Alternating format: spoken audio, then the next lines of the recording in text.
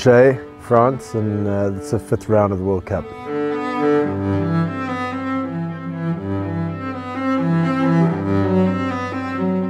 My relationship with Geordie, I mean, Geordie and I are really good friends, and I think whenever there's a camera, he gets all serious, and we end up just taking the piss out of each other. I don't remember any. I think my first Les Gets was Crankworx with Greg. For some reason, we came here, and I think he was still drunk on quali day. Yeah, it was it was interesting. It was like a, an opportunity to to to build a team and uh, direct this team. So going from like staff members to uh, yeah to to pit layout. I mean, it's been quite heavily involved as well. You know, developing this bike. You know, we want to have the fastest bike with um, a, a serious contending team, and I think I think this this weekend showed we've got it. I think he's had a lot of injuries and he's on a new bike, so there's a lot of things compounding to make it a difficult season. I guess I don't really expect things out of people until you have all the facts and everything's going the way it should. He's been pushing pretty hard and I still don't think he's 100%, so fair game on him for, for actually getting in there. No, I, I was expecting to come in hot. You know, Fort William's is a good track for me, and um, in the testing that we had done pre-season, I felt, I felt like I was gelling with the bike really well, and uh, Fort William just caught me by surprise. I pulled in Milway as team manager, and the reason I did that is uh, I trained with Alan, and he's a great trainer. And but if we've got Alan as team manager calling all the shots, he's going to make the right calls as a trainer for the best performance of the athletes.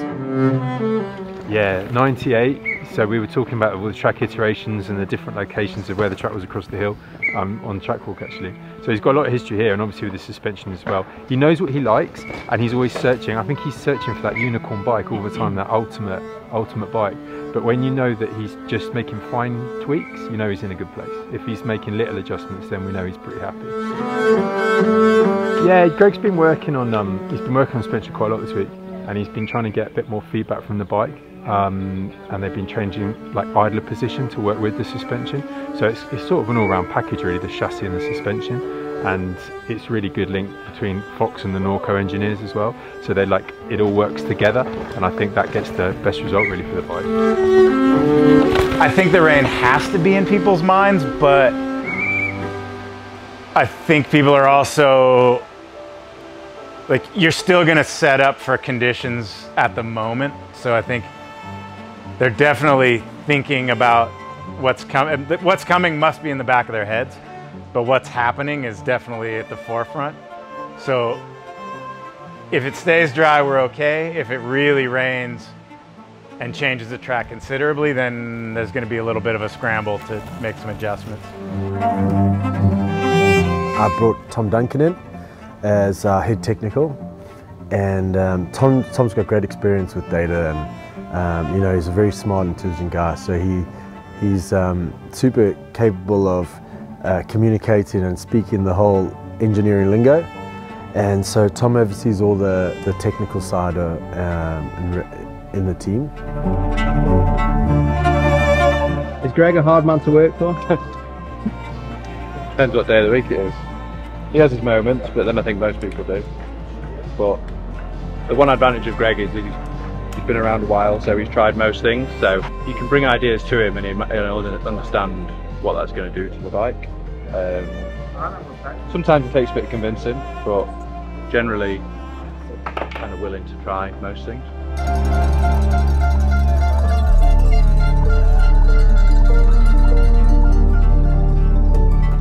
Greg is definitely not one to leave his settings alone and learn the track. He will adjust everything possible at least three times and then do it again just for fun.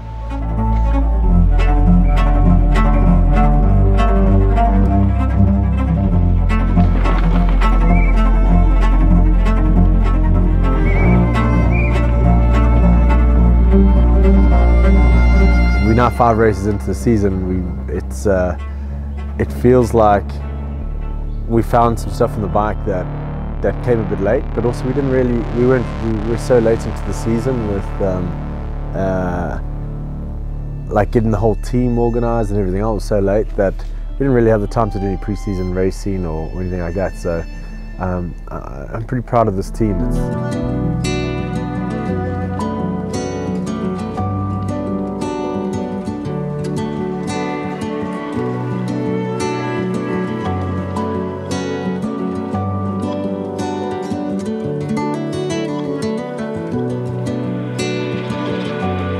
qualies I was 44 and uh, I was yeah 44th and I'm pretty sure Alan told me and I, I could be very wrong but I think Alan said to me you know I was like oh man I've lost so much time in the sector I really sort this out that da, da, da, da, da. and he goes you're two seconds of 10th and I'm like really? And he's like yeah yeah yeah. There's like but there's so many riders on like a second.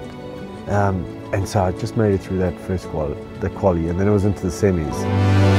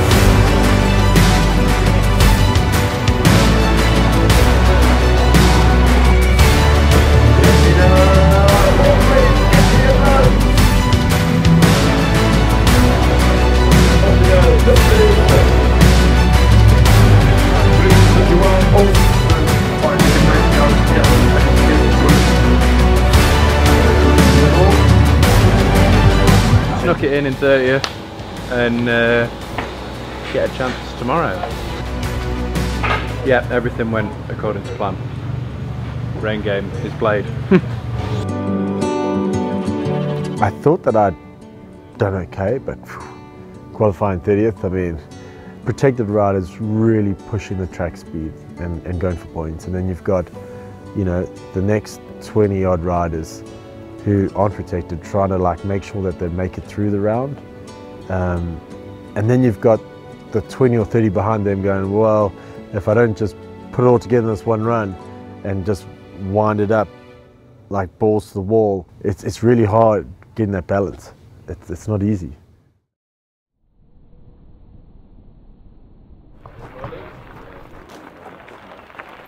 Yo. Well, you've got half an hour until the first lift. Bear that in mind. And you should be able to do two if you want to. You need to do two. Yeah, Doing a run on the in intermediates because it's uh, could be a bit greasy this morning, bit of dew from overnight. So we're just gonna test these out, and then I've got new wets and new dries ready to go, and intermediates. There's a tweaking process. It's getting thought about. Yesterday we we'd worked on a setup so much I just left it through most of it. We, we hardly changed anything on the suspension wise. Just went up a bit firmer on the fork. But I think because of the heat yesterday, we probably should have closed a bit of low speed compression and, and closed a bit of rebound as well. Um, just to kind of keep it in the range where we were. But we decided to leave it. And it worked alright, we got the final. So, um, but it's cooled off today, so it'll be fine. Oh, we've had a bit of a change of schedule today. Um, we've been sort of hanging about waiting for an update and we finally got one and they've essentially cancelled the junior races today, no junior racing and they brought everything forward. I think they're expecting storms to come in so we're in a bit of a hustle to uh, get our practice in but we're planned for it. We've got half an hour to get to lift. Two runs this morning and then it's uh, Greg's first man down.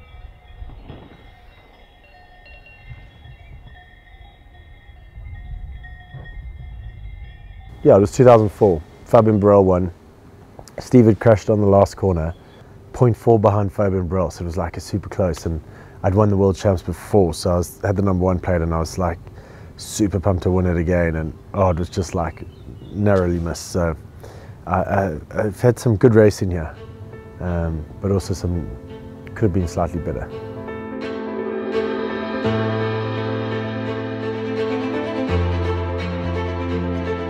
Yeah, we knew the rain was going to come, and we were hoping it would, you know, everything would push forward, and we were trying to miss it. And so when it rained, I was like relieved it's going to slow things down, make things a little bit more technical, and and um, and and I was I was happy for that. Tom and I thought that if the rain's going to come, it's going to come in heavy and hard, and we'd go straight to mud tires. Um, but we needed the intermediates, so Matt brought the intermediates up. It was a full team effort. Having everything, you know, having the options to go which way we needed to go because we had to make last minute decisions on, on, on tires. I think it was like 15, 20 minutes before the start. Um, just It was raining, but wasn't really like soaking in. It was weird. It changes everything. I was actually pretty relieved, to be honest. I, it's so fast, this track. And uh, yeah, I've had a lot of big crashes and a lot of bad injuries, and, and you think about it.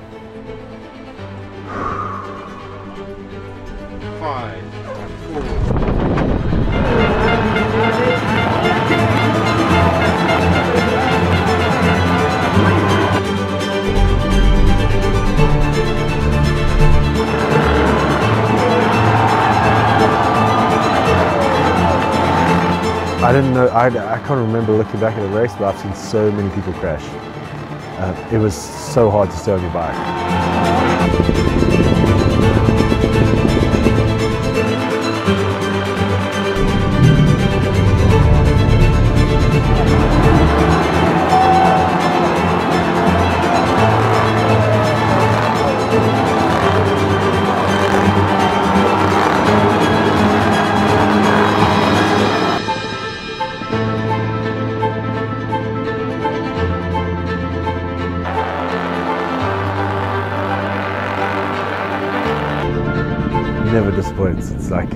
There's so much energy in that, that finish area. It's incredible. Thousands of people who are so pumped and excited that a Frenchman's just won in Les Gets and are going absolutely not. Actually, they were just, they were, the, the crowd was amazing for all the riders. But it was cool. It was a hell of an experience.